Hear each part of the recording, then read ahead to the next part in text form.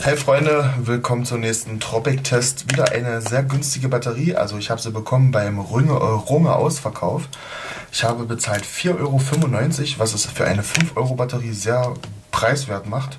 Kann man echt nicht anders sagen. Äh, die Batterie hat 25 Schuss. Ähm, Kaliber, denke ich mal, steht wieder nicht drauf. Ich schätze immer mal 20 mm. Ja, wenn man das so seht, ich denke mal größer wird es nicht sein. Wir haben eine NEM von 157,5 Gramm. Wie gesagt, für eine 5 Euro Batterie ist das schon sehr viel. Und ja, ich kenne sie überhaupt nicht, die Igel 41. Und dann würde ich mal gleich sagen, gehen wir gleich mal raus und bilden uns unsere Meinung. Wie sonst auch immer. Also Freunde, bis gleich draußen zur Zündung.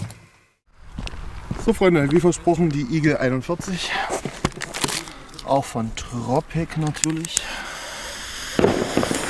Schauen wir mal, wie die so ist.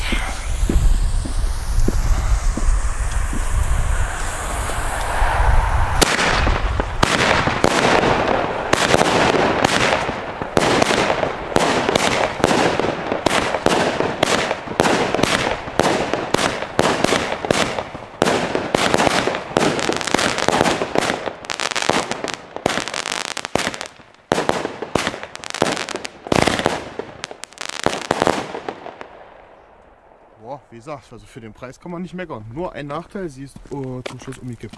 Jo, Freunde, macht's gut.